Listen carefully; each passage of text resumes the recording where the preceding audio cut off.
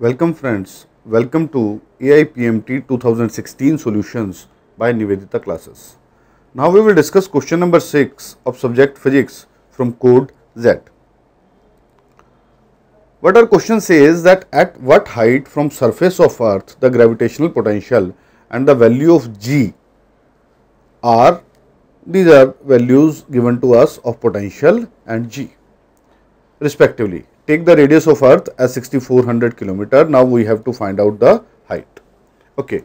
So as you know that earth is treated as a solid sphere and from solid sphere let us say from center of earth at a distance r the potential the gravitational potential is given by if the mass is m of this body the gravitational potential is given by g m divided by r and the gravitational field g is given by g m divided by r square.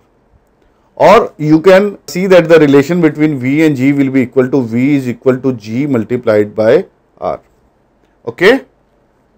So what is given to us? V is given to us that is equal to as the, this sign is also there so it v is equal to minus v will be equal to gr okay? So putting the values of v 5.4 into 10 raised to power 7 and g as 6 into r. The r will be equal to r this is the radius plus this is our height. So it will be equal to r plus h. Okay? So if i take 6 on the other side and divide by 6 so we will have this 0.9 into 10 raised to power 7 this is in meters so this is our r plus h.